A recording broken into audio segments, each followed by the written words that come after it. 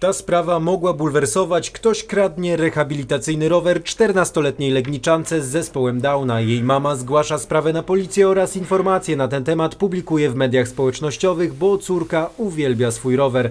I można by powiedzieć, że znieczulica ludzka nie zna granic, gdyby nie fakt, że rower zostaje oddany wraz z listem od złodzieja. O filmowym happy endzie w prawdziwym życiu w naszej relacji. Pani Anna na co dzień jest mamą 14-letniej Nikoli, dziewczynki z zespołem Downa. To, że jej córce z klatki schodowej mieszkania skradziono rehabilitacyjny rower, stwierdziła przed tygodniem. Tak, właśnie to był taki, taki dzień, gdzie Nikolka miała wyjść z rehabilitantką e, na rower, na przejażdżkę rowerową.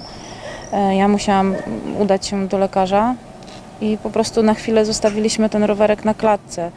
E, Po powrocie moim z lekarza już rowerku nie było. Taki rower to koszt ponad 1000 zł. Dziewczynka była zrozpaczona, bo dostała go za darmo od Fundacji Ekotextil. Jej mama nie dała jednak za wygraną. Oprócz policji informacje przekazała znajomym w mediach społecznościowych. Sama byłam tak mile zaskoczona, że, że ludzie udostępniają i bardzo w to wierzyłam, że mówię, jeżeli tak dużo ludzi to zobaczy ten rower, e, to może będzie nadzieja, że ktoś go gdzieś przy, przyuważy, bo mówię, no to jest rower taki trzykołowy, rowerek rehabilitacyjny, więc to nie jest jakiś rower górski, których jest pełno. I rzeczywiście wiadomość rozprzestrzeniła się lotem błyskawicy, najprawdopodobniej docierając do złodziei, których chyba ruszyło sumienie. Wierzyłam, że, że on się odnajdzie, jakąś taką miałam wiarę w to i rano wstałam, e, to było w sobotę, e, wychodząc z psem, zobaczyłam, że rower stoi na podwórku.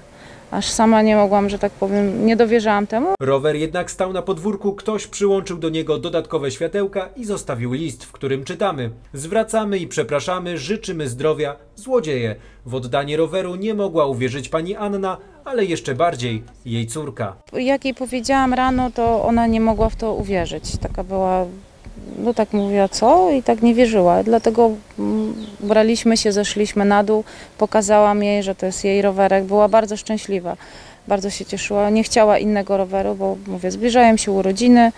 E, Chciałam jej kupić inny rowerek, e, ale ona powiedziała, że nie, ona kocha ten, ona chce ten rower.